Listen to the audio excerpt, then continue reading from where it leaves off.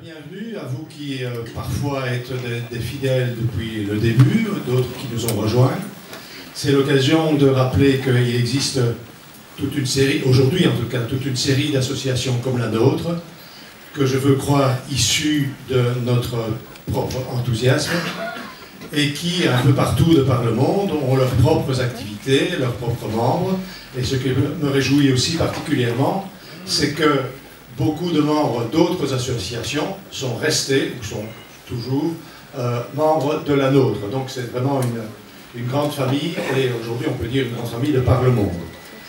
Alors bien entendu, il y a, je parlais d'amis fidèles, il faut saluer la présence parmi nous euh, vraiment très habituelle de Guy et Léona de Sissi. Ce sont vraiment des gens qui ont connu Hergé.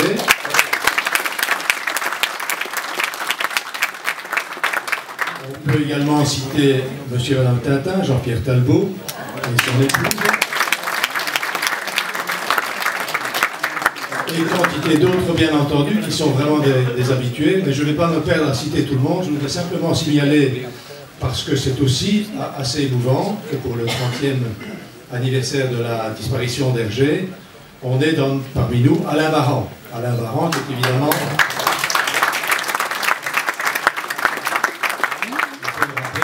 fondateur de notre association et qui était là euh, tout au début et qui est resté très très longtemps parmi nous et qui aujourd'hui euh, a d'autres activités qui le mènent sur plusieurs continents. On, accueille en, en l'applaudissant Stéphane Janssen parce que sa présence est vraiment exceptionnelle. Et la première personne à qui j'ai demandé de dessiner ce prix, parce qu'au lieu de donner des petits couverts en argent ou des petites coupes de chez Wolfer, c'est des trucs comme ça, j'ai dit pourquoi ne pas leur donner quelque chose sur l'art? Donc j'ai demandé à Hergé qui tout de suite m'a dit oui. Et puis la seconde année, ça a été Alechinsky. La troisième année, je crois que c'était Renault. La quatrième année, un peintre japonais qui s'appelait Taguchi. Et puis j'ai arrêté euh, euh, parce que je suis parti définitivement aux États-Unis. Et euh, donc j'ai pu donner le prix. Mais c'était un prix individuel. Et il y avait 25 exemplaires qui ont été distribués aux gagnants, plus une série d'exemplaires signés mais non numérotés plus 5 exemplaires en chiffre romain, le numéro 1 pour moi, et les 4 devaient être pour mes enfants. Par erreur, mon, fils cadet n'a pas eu un chiffre romain. Je ne sais pas ce qui s'est passé, mais il s'en plaint beaucoup. Euh, mais voilà, alors j'étais sans barbe, parce que la, barbe date de 1981. Et donc, euh, j'adore cette œuvre, et c'est peut-être... Euh, une des choses que j'ai qui me touche le plus. Racontez-nous vos trois rencontres. Alors, euh, Marcel Stan m'avait raconté un peu la vie d'Hergé, et je déjeunais avec mon ex-femme à la Villa Lorraine, je vois Hergé au bar, et je m'approche de lui, et je lui dis, j'aimerais beaucoup vous inviter à dîner chez moi, j'ai une nouvelle maison, et, et il m'a dit, je ne sors jamais, mais je dis, quand je vous dis vous, c'est vous et la personne avec qui vous vivez. Il me dit, comment, vous savez? Je dis bien sûr que je sais, tout le monde sait. Et je voudrais vous inviter tous les deux. Il m'a dit, vous savez, nous ne sommes pas mariés. Je dis ça, je m'en fous complètement. Euh, par contre, ça scandalisait ma femme. Mais euh, donc, euh, il est venu dîner chez moi et c'est comme ça que nous avons commencé à être vraiment très proches. Et il est aussi venu voir un de mes enfants qui venait de naître. Je crois que c'est une des premières fois qu'il avait vu un bébé, parce qu'il était très fasciné euh, d'aller à la clinique euh, voir un bébé. Et je ne sais pas ce qui s'est passé, mais il y a eu tout de suite un espèce de contact euh, entre nous. nous aimions tous les deux l'art, mais nous n'aimions pas du tout la même chose. Alors lui aimait des choses beaucoup plus strictes, on va en parler peut-être en montrant quelques, quelques œuvres. Ici, c'est l'ombre de Fritz Vandenberg. Donc, c'est Hergé dans son bureau. Donc, euh, je ne sais plus en quelle année, en 63. Donc, c'est l'année où vous l'avez rencontré. Il avait déjà commencé une, collection. Il est venu dîner et je lui ai dit Est-ce que vous me feriez un petit signature dans mon livre d'or? Et il m'a dit Oui, mais je l'emporte. Et alors il l'a emporté, il a fait le dessin, et puis euh, il y a 12 ans, 3 ans, je l'ai découpé du, du livre d'or, je l'ai encadré, et il est accroché euh, dans ma petite cuisine de jour aux États-Unis. C'est un, dessin qui évidemment me touche énormément et voilà, c'était un, un, des premiers euh, dîners où il était venu avec Fanny et juste euh, quatre. Parce que je ne me souviens plus de la date du dîner avec le roi, enfin qui était à ce moment-là le prince Albert. Parlons-en, même si vous, savez, vous ne connaissez plus la date. Donc vous avez un jour convié Hergé et Fanny. C'est-à-dire que la princesse Paola, que je traînais dans les expositions. Euh, il fallait la traîner Oui, il fallait la traîner. Elle avait horreur de ça. Et elle me disait, est-ce que j'ai pu lui dire que c'est une horreur J'ai fait cette même imitation au Prince Lorenz il y a, deux ans à, Bâle. Mon fils m'a dit, tu ruines ma carrière. Euh, au fond, ça ne m'intéressait pas du tout, soyons tout à fait honnêtes. Et euh, je l'emmenais donc. Euh, puis elle, on a parlé d'Hergé, elle m'a dit Oh, mais Albert adore Hergé, est-ce que vous pouvez organiser quelque chose? Et c'est là où Hergé m'a dit Mais je ne peux pas parce que nous ne sommes pas mariés. Et je dis Je crois que la, princesse s'en fiche complètement. Et donc ils sont venus dîner. Albert et Paola, Hergé et Fanny, mon ex-femme et moi.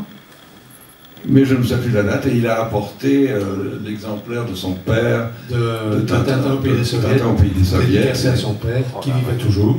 Qui vivait toujours, et ça s'est très très bien passé, ils étaient très contents, et.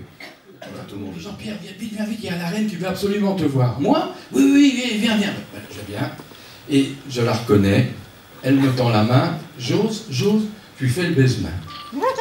Ben oui, c'est sorti tout à fait naturel. Et alors, je lui ai dit la première fois qu'on a été présenté, je n'avais que 17 ans, et je vous avais trouvé d'une merveilleuse beauté. Merci, avec l'accent que tu connais si bien. Merci, dit-elle. Alors, je ne voyais pas le roi. Et tout à coup, il me dit Et alors, avec un accent, mais sans protocole, hein, hyper sympa, euh, sans protocole, et alors, vous n'avez pas mis vent Il fait un geste comme ça, comme s'il s'est encore levé la jambe. Euh, il ne trouvait pas le mot pantalon golf. Nickers mais non, Majesté, vous savez bien que je ne peux pas les porter puisqu'ils sont exposés en vitrine. Mais ça, c'est quand j'étais jeune hein, que je lui dis. Mais vous êtes encore jeune, hein Ah, Majesté, mais vous aussi. Mais je suis sûr que je cours bien plus vite que vous. Et il me dit alors, même de ça, je suis sûr aussi. Hein. Exactement en tapant, comme j'ai vu Hergé faire aussi, taper là. Voilà. Donc, Donc euh, hyper sympa. Il a, un accent bruxellois comme ça Terrible, terrible. En, cancer, Ou alors il s'est oui. il s'est mis à imiter André Lamy peut-être. non, c'est rien, en tout cas, hyper sympa. Et alors, mais ça, je suis sûr aussi. Hein. voilà, allez, joyeuse Pâques. Hein. Ah oui, alors, euh, pour ceux qui restent ce soir à manger, j'ai apporté un petit dessin. J'ai été, été invité pour dédicacer à Montréal, chez les comics, c'est-à-dire tous les mecs qui sont faut déguiser dans, des personnages qu'on ne connaît pas, des super-héros. Enfin, qu'importe, et j'étais là, ben, j'ai quand même mon petit succès, c'est pas grave. Et alors j'ai rencontré évidemment Yves Rodier, le Canadien que vous connaissez bien, et il m'a fait un merveilleux dessin, Tintin, Tintin, Jean-Pierre, Tintin, un, mixage des deux. Et si vous mangez ce soir, je le mettrai à l'entrée du buffet, comme ça vous pourrez admirer. J'ai demandé au téléphone, est-ce que ça vous ennuierait que je tue Tintin sur cette terrasse? Je voudrais en faire un mélange entre un César et un Armand. Euh,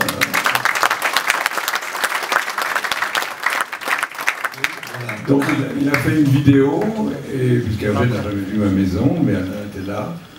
Et donc il m'a demandé ça, j'ai dit, écoutez, moi ça ne me dérange pas si vous tuez Tintin sur ma terrasse, mais sans trop de précision, parce que je ne veux pas euh, 12 autobus euh, par jour, puisqu'il y a toujours ces, visites à Beverly des maisons des stars, et qu'on dit c'est là où est mort Tintin, on va me jeter des, cailloux dans ma,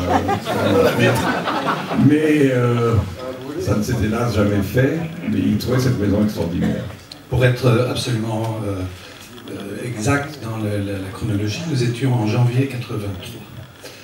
Et je suis venu à Los Angeles parce que c'était le démarrage du projet Spielberg qui avait pris contact avec nous, euh, avec Casterman euh, fin, fin 82. Et Hergé était trop faible déjà pour faire le voyage, donc il m'a demandé d'y aller pour lui, de le représenter et en même temps venir vous saluer. Et donc, euh, oui, c'est janvier 83, très exactement. Et effectivement, ce, projet n'a pas abouti, évidemment, mais il était bien là. Et dans les faits, il y a toujours une question que je me suis posée. Hergé a travaillé à Tintin et autour de, de 79 Il a commencé, oui, l'année du, du 50e anniversaire. Et si je me souviens bien, c'est la fin août 79. je sais que je l'ai écrit quelque part, je n'ai jamais retrouvé cet écrit. interrompu, il y, a pensé, mais il n'y a plus vraiment. Ben, jusqu'au bout, il y a pensé. Hein, parce que je veux dire, euh, même dans les, derniers mois, euh, tout en sachant qu'il ne vivrait pas très longtemps, mais il n'était pas du tout envisagé qu'il disparaisse aussi vite. Et euh, même, il avait imaginé de déménager les studios que on ne savait pas à l'époque, et de les installer pratiquement en face de sa maison au Parce qu'il avait vraiment l'intention de continuer et de, le faire à son rythme, qui est évidemment réduit par la nouvelle. Et là, dans le fond, on aperçoit une, œuvre de Reynaud. Donc vous voyez cette espèce de sens interdit. C'est donc euh, une œuvre qui se trouvait au studio Hergé aussi. Il y avait trois ou quatre euh, sens interdits de couleurs différentes. Il y avait aussi les crucifix, vous voyez dans le fond, c'est aussi de, Jean-Pierre Reynaud. Euh, ces crucifix donc, sont peints de couleurs vives.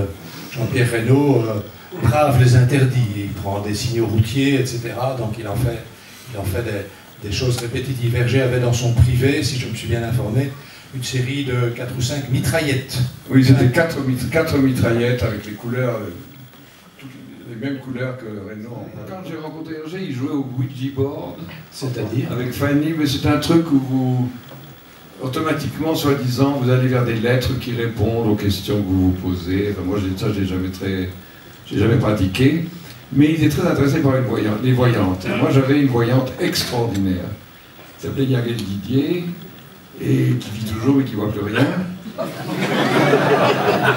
Parce qu'elle est devenue très mondaine et que ça ne marche pas, mais qui m'a tout dit dans la vie, absolument tout, c'était incroyable. elle m'a décrit la personne avec qui j'allais vivre, elle m'a dit qu'il sera habillé tout en blanc, alors j'ai beaucoup couru les séminaristes et les, joueurs de tennis, et finalement c'était un, garçon dans un restaurant qui était habillé tout en blanc, qui était aussi un grand céramiste et qui a fait des études, et à qui j'ai vécu les 12 plus belles années de ma vie.